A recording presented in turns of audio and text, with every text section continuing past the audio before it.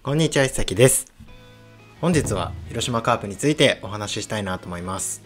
皆様、今の広島の一軍に出ている選手って言われると誰を思い浮かべますか？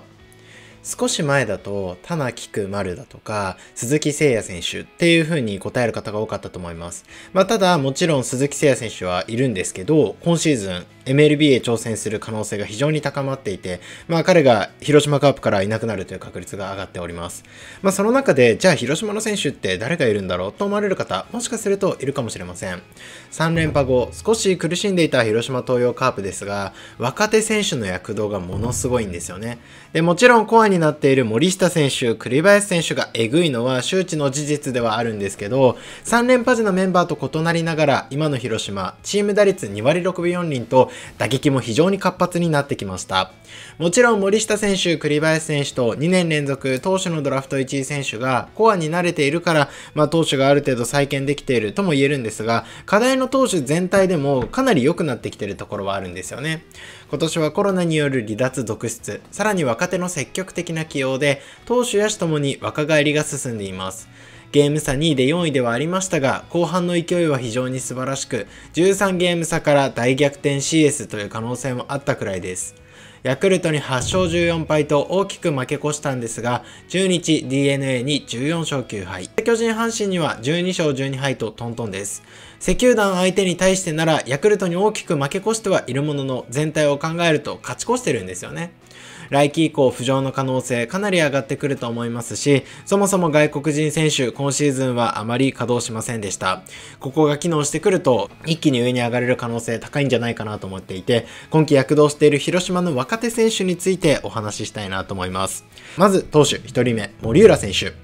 栗林選手、牧選手、伊藤選手、奥川選手、佐藤選手がエグすぎるので、候補に入ってきてはいないんですが、1年目から50登板以上投げている彼の貢献度、めちゃくちゃ大きいです。1年目の森浦選手、栗林選手がチームトップ2の54、53登板。もちろん、大道選手も1年目からしっかり投げることはできたのですが、先発転向で少し苦しんだところもあって、今回は外しましたが、この3人で120登板していて、チームにとって欠かせない投手であることは間違いありません。森浦選手、4月は防御率8.31、6月は10.50ではあったんですが、後半抜群の安定感でした。セットアッパー定着とまではいかなかったんですが、8回を投げる投手の一人として大きな貢献度でした。特に8月は5試合で防御率1.59、9月は13試合で防御率2.45、10月は9試合で防御率2.25、スライダーの被打率4割5分9厘と高いんですが、ストレート1割5分6厘16三振、チェンジアップ0割9分1厘20三振と抜群です。シンプルにストレートのスピードが速くて、右打者に対して外に抜くチェンジアップというか、左打者にもチェンジアップを使えるようになってきています。まあ、特に左バッターの膝下に落とすチェンジアップというのは、インコースをつきながら空振りが取れますので、まあ、結構バッターからすると消える球でもあるのかなと思います。全体的に対左に対しては課題を残すんですが、後半戦の奪三振率は10近辺で、前半戦から明らかに異なっています。来季先発で行くかどうかはわからないんですが、1年目としてはほぼコアになっています。スライダーとストレートの2ピッチになりがちな左投手とは変わってきています。セットアップも先発もどちらもやっていけそうではあるんですが、スピードの速さ、変化球の奪三振率を考えてリリーフかなとも思っています。そして、島内選手。若手というか少し悩んだところではあるんですが、今シーズンかなりレベルアップした感じがあります。今までは圧倒的なストレート、フォークではありますが、引き出しの少なさや安定感の課題もあって、セットアップ定着とはいきませんでした。最速157キロ、被打率自体は低いんですが、目立つ四死球が課題でした。ただ今季はチェンジアップが被打率1割1分5厘13三振、フォークが1割1分1厘8三振、ストレートの最速は157キロとさすがすぎる上に、20年は38試合で37.2回5ホールドポイント、防御率4.54、48三振、29四死球と、まあ、四死球も苦しんだんですよね。で、その選手がここまで四死球を減らせるっていうのは、まあ、本当にすごいなと思います。で、そういう投手でよくあるスピードを落として、まあ、ある種入れに行って、ちょっと通打も目立って良さが消えてしまうっていうこともありません。昨年よりイニングは10イニング増えながら、四死球は半減。そしてストレートの9位、スピードも落ちていません。まだセットアップ定着ではないんですが、今までよりレベルアップしていて、島内選手、森浦選手の安定感が目立った9月、まあ、本当に来季以降につながる気がしてしていて、来季栗林選手が再び抑えとして8回まで彼らで繋ぐことできるんじゃないかなと今は思っております。そして玉村選手。今年個人的に気になっていた投手、昨年2軍のデビュー戦でアウトが取れない悔しい形ではあったんですが、フェニックスで素晴らしいピッチング、そして今シーズン高卒2年目という若さで1軍抜擢。デビュー戦では5回5失点という登板でしたが、最速で149キロを計測。次の登板では5回2失点敗戦も持ち味を見せることはできました。その後の1軍のローテーションで回ることができ、140キロ後半のストレート、スライダー、チェンジアップ、シュートを駆使して、三振、ゴロを取ってきました。いろんな球種をいろんな場面で落ち着いて投げることができる、高卒2年目の投手とは思えません。特に左バッターに投げ込むスライダー、かなり魔球とも言えるもので、独特なフォームから投げ込みますので、かなり出所も見づらいんです。当初は試合を作りながら勝つことがなかなかできなかったんですが、だんだんイニングも食えるようになってきました。DNA との試合では7回10奪三振2失点と高騰。ただ全体で5回2失点、5回3失点、6回無失点、5回3失点、7回2失点、6回3失点、点6回3失点、7回3失点、6回自責3、6回2失点と、試合を作った試合でも勝ち星がつかなかったことで負けが先行してしまいました。まあ、全体的にかわいそうな登板もあったんですが、打撃も非常に良いですし、小柄ながらスピード感もあって引き出しも多いんです。まあ、変化球の精度、また球数を投げてからのスタミナというところは今後課題にはなってきてくると思いますが、高卒2年目、ここまで十分すぎます。で、だんだん球数も投げられるようになってきていて、来季ローテーションとして1年間投げれるんじゃないかなと思います。高橋光也選手らが少し壁にぶつかっていたんですが、床田選手と玉村選手がここまで投げてくるっていうのは、来季以降かなり期待できそうだなと思っております。そして野手。まずは、うぐさ選手。今季前半戦、ファーム生活で53試合で2割5分6厘、6本、8二塁打、5三塁打、26打点、5盗塁、OPS7 割5分2厘と長打を放ってきました。ただ西川龍馬選手がだんだん戻してきたり、野間選手も一時期存在感を見せたことで、彼の起用自体は多くなく、中盤まで一軍で起用されていて、存在感は見せたんですが、レギュラーをつかむまではいきませんでした。それでもファームでのアピールなどもあって、終盤に再び一軍で起用。10月は1番で起用され、3割1分9厘、2本、4二塁打、出塁率3割4分7厘、OPS8 割3分3厘。もう本当に素晴らしい数字でした。速球に振り負けず、しっかりと仕留めて長打が打てるバッター。まあ、特に1番バッターでこういう積極的な打者が、まず塁に出ると結構チームが乗ってくるなっていう印象があります。まだまだ変化球への脆さはありますし、一番起用されながら、150打席で42三振は比較的多く、四死球9で出塁率3割3分1厘持ち味の足は見せられたんですが、盗塁や判断面でのミスはありました。ただ守備で課題の送球で目立ったミスは今のところ感じておらず、打撃、特に長打を放つ力やストレートに負けない力等は本当に素晴らしいなと思います。まあ、打撃面で言うならば、今年の DNA 桑原選手のような活躍、今後期待したいなと思います。そして、林選手。高卒ルーキーでウエスタンリーグで7本放ち、大砲候補として大きな期待を受けました。翌年は率を上げた上に9本と長打も放ち、着実に成長を見せました。ただ今シーズンも当初は2軍でした。打率こそあまり上がらなかったんですが、本塁打6本を放つことができ、三振も多かったんですが長打でアピール。チーム全体の離脱者続出もあって1軍チャンスをつかみました。昨年デビュー、そして今季は初本塁打などを打撃でしっかり1軍でもアピールすることができ、6月は3割4分4厘、2本、4二塁打、17打点、OPS8 割5分4厘、得点圏4割1分7厘と、チャンスで非常に強い打撃を見せました。パワーで目立ったというよりは、仕留めた長打でチームに貢献。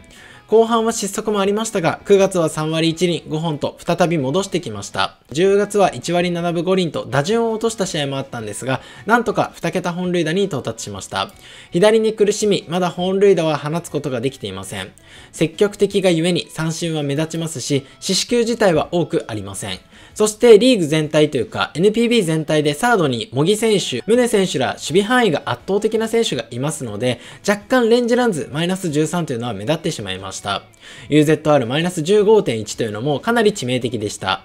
もともとファームではファースト起用も多かったので、今後ポジションは考える必要があるかもしれませんが、まず打撃でここまで目立つことはでき、サードで多く出場することはできました。ストレートに振り負けず、カットやツーシームといった速球系、4割2分9厘、3割5分と仕留めることができます。まだ抜かれることはありますが、まずはストレートを3割2厘と打てるようになったのは大きいです。失速があっても2桁放つことができたのは今後にとって非常に大きいと思いますし、まさに松山選手のような打撃期待したいなというふうに思います。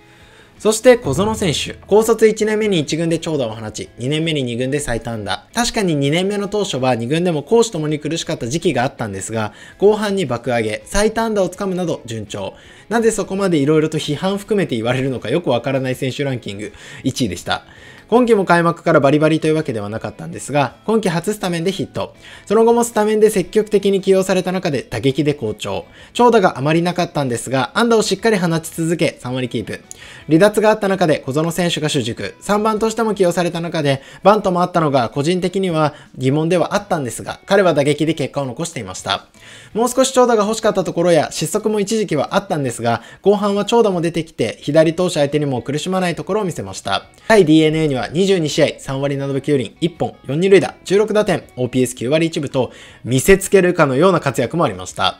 林選手同様、ボールゾーン見極め率は高くなく60%。出塁率自体はまだまだ上がってきていませんが、三振せず当てる力は素晴らしいです。一時期失速もありましたが、最終盤にアンダレオさん。当てに行くバッティングではなく、強く振り切っていく打撃もしっかりと見せることができました。最後の最後で3割とはいかなかったんですが、3試合連続猛打賞をフィニッシュ。しかも本塁打など長打を増やすことができていて、今季大成長を遂げただけではなくて、しっかりとレギュラーになってくれそうです。失策はまずまず多く、出塁率も課題、そしてレンジランズマイナス12.4、UZR マイナス13.2と、かなり背では、指標では際立ってしまっています。ここをどこまで我慢して、そして来季以降どう改善していくか、今後レギュラー定着ということを考えて必要になるポイントかなと思います。そして坂倉選手。今シーズン最もエグくなったのが坂倉選手かなと思います。本職はキャッチャーで、今季は出場機会のためにファーストとしても出場。高卒1年目のウエスタンリーグで99試合で2割9分8厘、1本、34打点。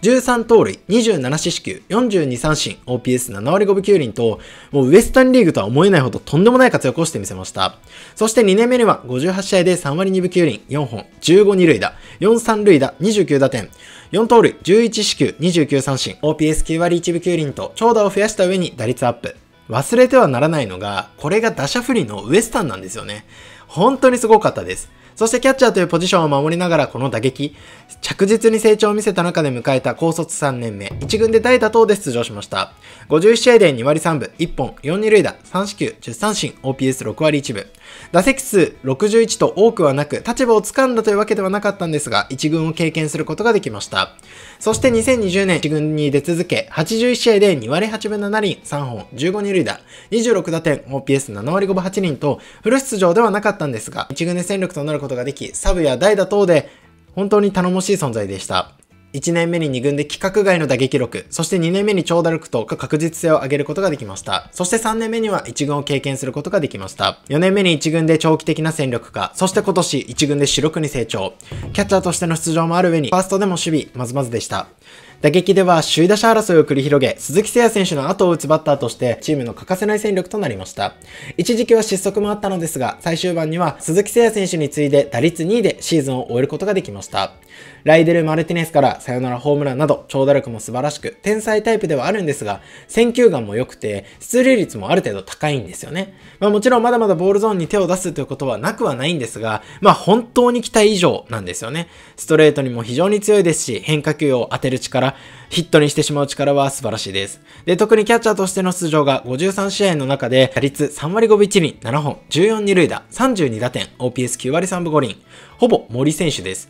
順調すぎるステップで、まあ、キャッチャーに関しては今シーズンアピールした石原選手やベテランの相沢選手らいますので、必ずしもキャッチャー確定というわけではなく、守備面で考えると信頼度的には石原選手の方が高そうに見えます。で、来季以降、ポジションで外国人選手を考えると、サード挑戦ということも今言われております。まあ、いろんなポジションをやってみて、最終的にどこに固まるかっていうのはわかりませんが、まあ、今のところキャッチャーができる上に、ファースト、サードを守れると、まあ、本当にチームにとってめちゃくちゃ大きな戦力。まあ今でも十分戦力なんですけど、来シーズン以降もコアで計算していいんじゃないかなと思います。